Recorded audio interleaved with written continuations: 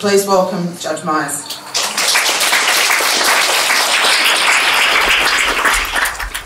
If I could just start off by acknowledging the traditional owners of the land on which we meet today, pay my respects to their elders past and present, and every other Aboriginal and Torres Strait Islander person here today. Um, I was um, approached by the Attorney General at the end of 2016 and asked to be involved or be the Commissioner on the inquiry into Indigenous incarceration. Um, terms of reference were delivered in early February last year it was a very, very tight, short timetable of about 10 months. Um, Chris Cunneen here, earlier Anthony is here today. Um, they were both on the advisory committee for the inquiry. I'm grateful for their input and their time. Um, the terms of reference, people said, oh, gee, they're so wide. They're such wide terms of reference, how will you possibly do it? But in actual fact, they weren't at all if you have a look at the terms of reference, they excluded a really, really important point. The terms of reference didn't allow the inquiry to consider um, the incarceration of children. It didn't, it was, didn't allow us to consider that very, very early point where we see people feeding into the criminal justice system. If it's a, it, it, running the inquiry, it, it looked to me very much like a conveyor belt.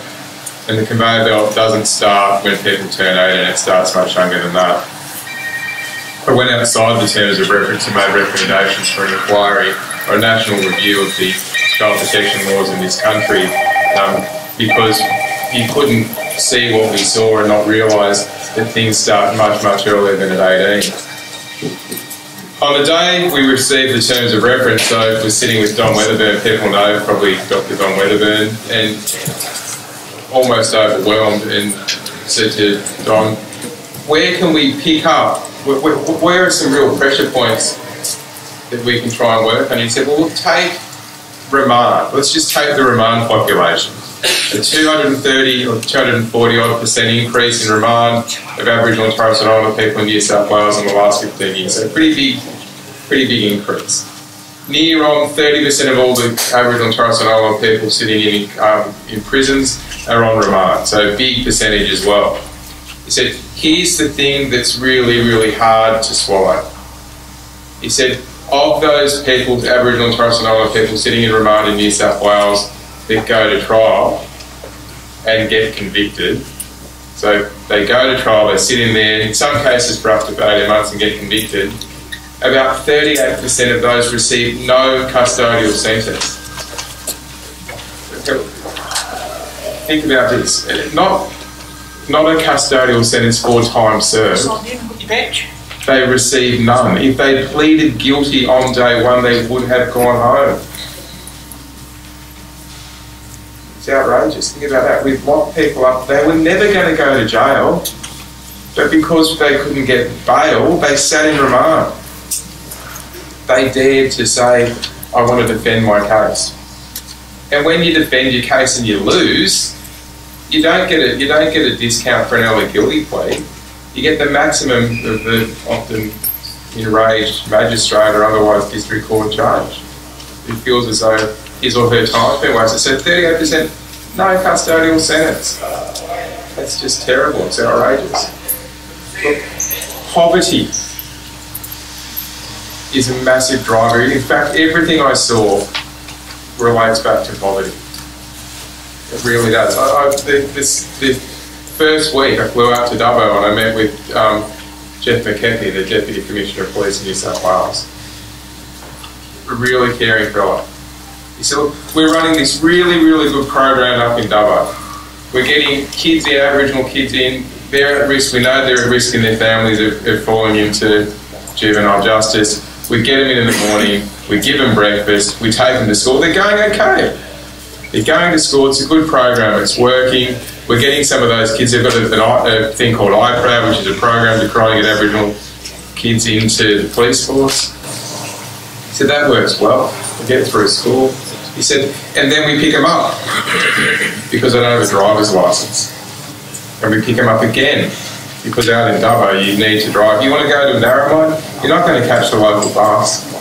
You can't catch the light rail to Narromine or out to Wellington.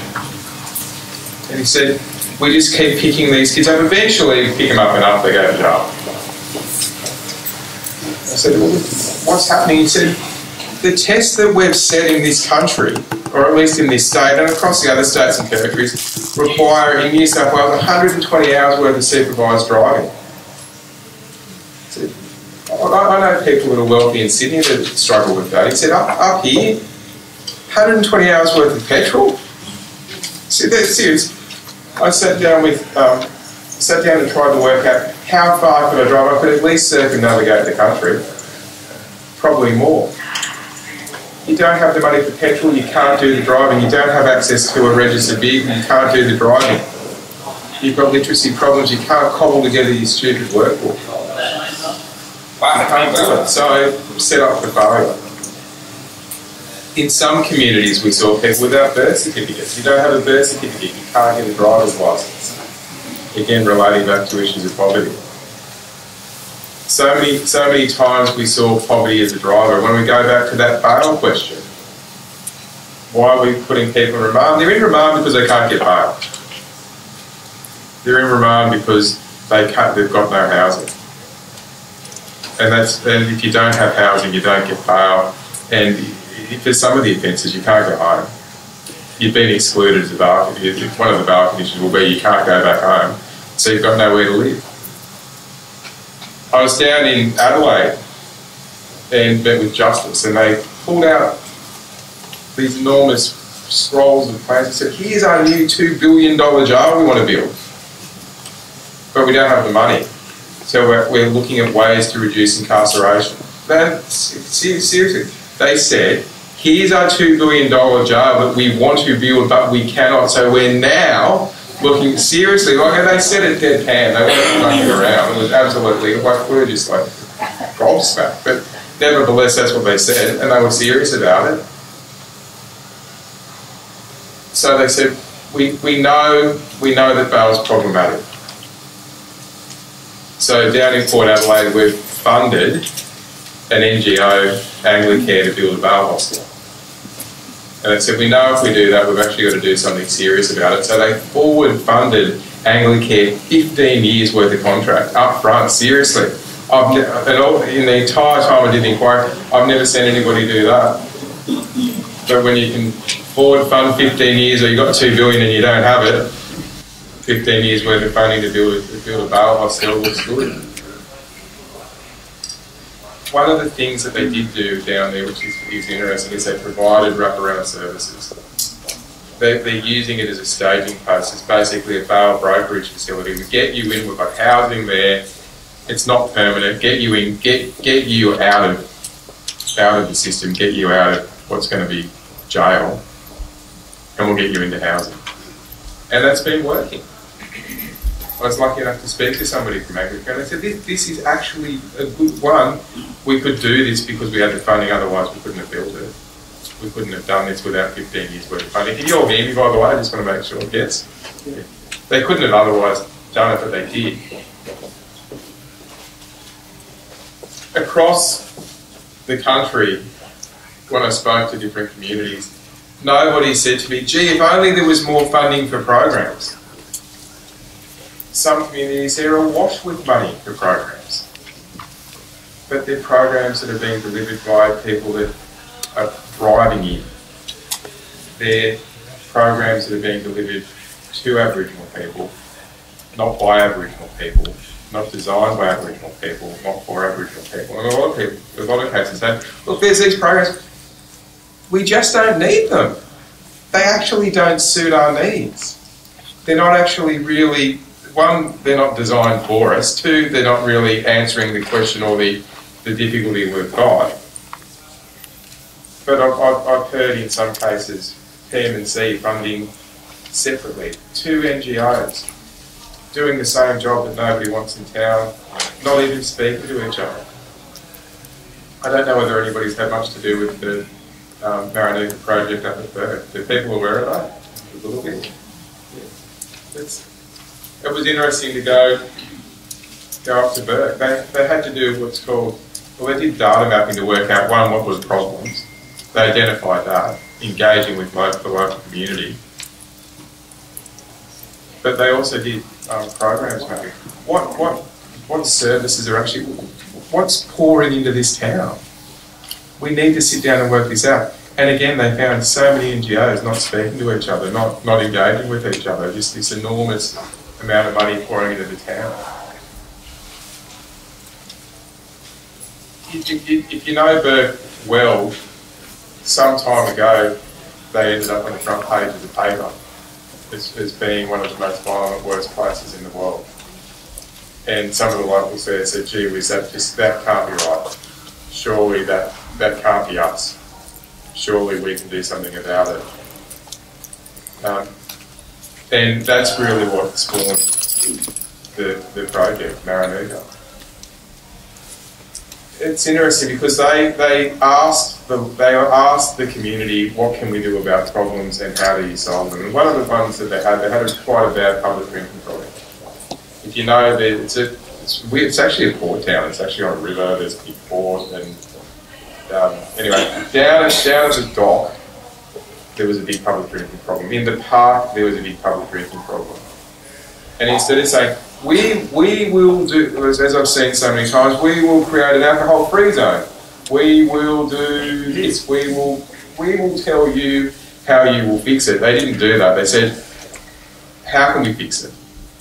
One, it's a given you need to, and there was no debate. But two, how do we fix it? And the community came back and said, well, well if we tell you, will you do it? And the answer was, well, we'll at least try. And they said, delete these lines, these items from the bottle shop. Delete these items from the pub. And instead of saying, okay, look, thanks for telling us, um, we'll get back to you, they did it. Guess what? No more public drinking. And it was the same with family rights. What, what can we do about that? And they said, if something's happening in the household, the community needs to be involved.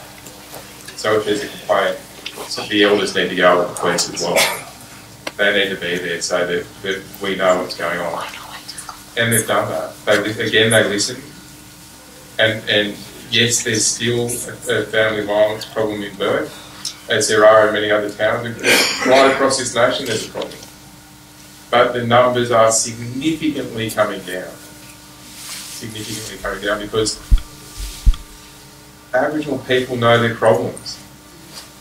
If you ask Aboriginal people, often they know what you need to do to fix it, but so many times nobody is listening. Um, it was interesting spending time with the police, seeing some of the projects they were doing, seeing seeing one, their, their failures, but two, seeing some in some cases where there was genuine engagement with the community, things working. I don't know, do people know about Luke Freudenstein's project down in Redfern? The, the boxing program? Yeah, okay, well, that's the... One of, one of the things that we said, and one of the things that is probably true across all these programs, is they're personality driven. And people said, oh, well, that doesn't work. But the reality is that it actually does. When things are personality driven, when they're driven by the local community, by personalities, they do work. It's, it's, it won't, it, rolling out programs across states won't work. And somebody said to me, but how can that be? Why, why is that? And I said, well, every community is different. And they said, oh, well, yes and no. I said, no, well, it actually is.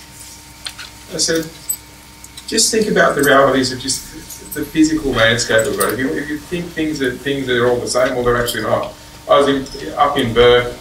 We're here, where we are right at the moment. We're in New South Wales. We're in northern New South Wales. Driving or being driven here it's pretty lush and green. there's plenty of water, things are going well, looks all pretty good, but it is. I was in Bourke a couple of weeks ago. There's a heartbreaking drought going on out there, the type of which they've never seen. The landscapes are so different that it, it, it, people say it can't possibly be even the same country. And that's the reality, our country is so vast but our communities, because of that, are so different that if we just roll things out, if we said, we'll roll out a, a water program, people here will say, what are you talking about? What, what are you going to a bigger gutter so we can channel the water out to sea so we don't flood? And out in Burton, they're saying, well, we need water because our, our, our land is dried up. So that, that's what we see in that in this landscape in criminal justice. Um, Luke said to me, I've spoken around the country in, um, in states and territories. I've been, I've spoken internationally. He said, I haven't once spoken in New South Wales. That was interesting. The other thing he said, and about to retire, he said, my, my greatest fear is I'll retire and there, there is no plan no plan in place to see him replaced so that his program continues. And we picked that up in the report and we made a bit of a song and dance about it and they actually did find somebody to replace Luke. I think probably one he screamed about it and we screamed about it and luckily we had Geoff McKechnie on our advisory committee and something was done. But that, that does happen so many times. So many times with programs fail. Are really, really good. They do do good work, and that's a good thing. You should not not do these programs because maybe they'll end. If you do something, even if it's for 12 months and they work, that's good. But you really need to start thinking about thinking about what takes place when that person leaves. Start putting some things in place to make sure those good programs carry on. It's there are a lot of good things that are taking place across the country that are driven by Aboriginal Torres people. So it's not all it's not all disastrous. It's the, the numbers are disastrous, but it's not all bad because we're in in some areas we see things really really working because Aboriginal and Torres Strait Islander people have been given some control to be able to say, this is a one, this is a program, a problem we have got. Two, this is a program that will work. One of the, as I said, one of the my biggest concerns out of probably all of it was looking at what's taking place with juvenile justice and seeing that kids going onto the conveyor belt one of the one of the biggest drivers of that is really our home care. That is um, tonight, one in ten Aboriginal children in New South Wales will sleep in out of home care. Ten percent of the, New South Wales Aboriginal child population will be in out of home care. Peter Johnstone, the president of the Children's Court, who oversees the system that that places children into care, not the not the Department of Family and Community Services, but the court itself wrote a paper about 18 months ago and he called it the crossover kids. The kids crossing over, right, and particularly Aboriginal kids from out of home care into juvenile justice. And we know that once you start on that pathway, you keep on going into adult incarceration. And we know the recidivism rates are so high, you're just going to keep coming back.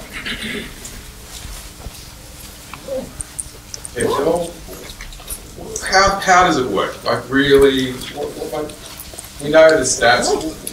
why are people doing this? Why are they crossing over? And it's, it's actually not that complex.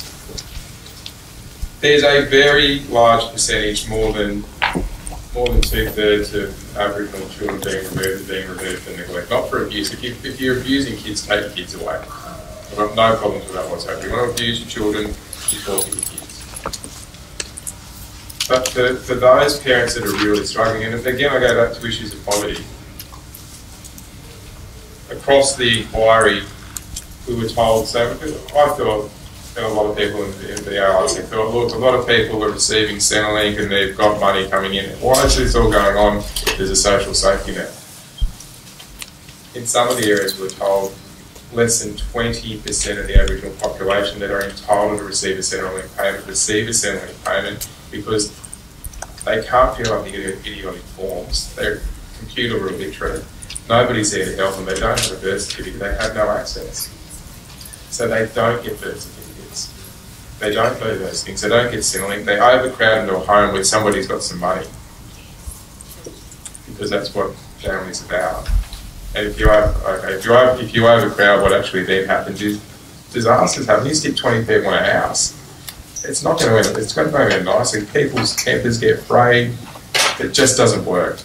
Anyway, but if we go back to that conveyor belt, looking back at what's happening with kids in our home care, if you are removed from your parents who are abusing you, you're really, really upset. They are human beings. They really, really hate. They hate the police. You've stolen me from my mum and dad. So that's your first, possibly your first time you come into contact with the police. I remember when I was a kid, my grandmother, my mum was removed for a period of time anyway. My, she was returned ultimately because my grandmother married somebody that managed to get it back. But I can remember as a little kid, we would drive past the police, my grandmother would say, get down! Get, and she was serious. She absolutely hated the police. With a passion. You, know, you don't like the police if you if you, they took you away from mum and dad. And when you lose your mum and dad, you've lost part of your family. But the other thing that we know that happens is we can't get sorry that you've got four, four siblings. You're not going to see them again. We're not going to find you a placement where anybody's going to take three or four, and you're not going to be living next door to each other. So say bye bye. So on day one, you've lost your mum and your dad, you've lost your siblings, and here's the next thing in the tail for you you, if you haven't got your mum and dad, you don't have your, you don't have your siblings. Hopefully, you've still got your friends because they're important, but you lose those two. Because that's right, we can't find a placement for you where you're going to end up living in an area so you can go to the same school. So, good start, day one. Mum's gone, dad's gone, siblings are gone, your friends are gone, you're somewhere else. It's, to be honest, getting paid a pittance to look after you. So day one, second school. Not very happy, not doing very well, probably a little bit annoyed, maybe pretty pissed off. Anyway, the foster care said, look, you know what? You're, you're pretty hard work, maybe it's time for you to go to the next place. We know in New South Wales the average number of placements is 10. It's good, isn't it? Average number of placements in New South Wales for child and care care. Good one.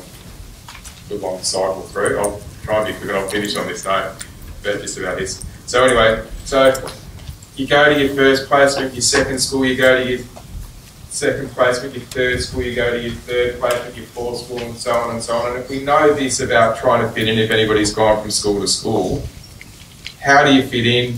You muck up. You be the class clown. You don't conform. You don't be the teacher's pet. You're not going to win any friends with that. So you really start to muck up which is seeing you cycling in and out of houses because people are getting pretty tired of you. Anyway, because you're falling into a bad crowd, because you're mucking up, you're going to come into contact with the police. But we were right. I remember you. I remember you. So you're not very respectful to them either. And if you're not very respectful to the police, you don't get a very good ride. So we see those kids falling into the juvenile justice system where there's it's just hopeless. Where ultimately, and the, the, cost of this is really, really high. You're talking about like incarceration sitting in the, the high three billions. Out of home care is at about two point eight billion dollars. This is a serious system. It's got a there's a lot of inertia behind this system. There's a lot of people involved in this. There's a whole industry all out of this. This is not, not something we can derail quickly. That's why uh, I've, one of my biggest recommendations is to be a national inquiry into it because it's a start. It sees, sees our kids incarcerated, if our kids keep getting incarcerated, they end up incarcerated into adulthood. So um, that's really been what's been happening. I invite you to read the report. It covers a range of different topics. There's some recommendations. It'll make some tangible differences. There's some real things that can be done. So it uncovers uncovers what's going on with prison population, where prison statistics were gathered on a census basis and programs are designed around those needs from that census, but because it's a census-based approach where you're taking a snapshot on one night in a given year, it failed to uncover what's really, but they uncovered what's called the stock of what was in prison on that night, but it failed to uncover or failed to really look at the massive turnover where we know we were able to find those statistics out from actual rates of people going in and out of prison and some sentencing rates. So many people are going in and out on short sentences. If you're going in and out on a six month sentence or a three-month sentence, that that bed that was one person on a six month sentence is used twice or four times in a year. So many people are going in and out on short sentences, and if they're going in and out on short sentences, there aren't any programs. There's no chance for rehabilitation. If you're sitting in remand for 18 months waiting for your sentence, you're never going to get one in the end anyway. You don't get any programs. There's no rehabilitation. So it's it's a a lot is a lot of a lot of what we're seeing is driven by poverty. A lot of the things that we're seeing that are being driven are because we're approaching things in a way that doesn't work. We're not asking the community, we're telling the community what you should do. And when you ask the community, one, they've got answers, and two, they've got solutions. So I invite you to read the read the report. You can download it online. It's about as big as a Bible. It's about 500 odd pages. But please bear bear through it. There's an executive summary. So I'll happy to answer questions later. Thank you.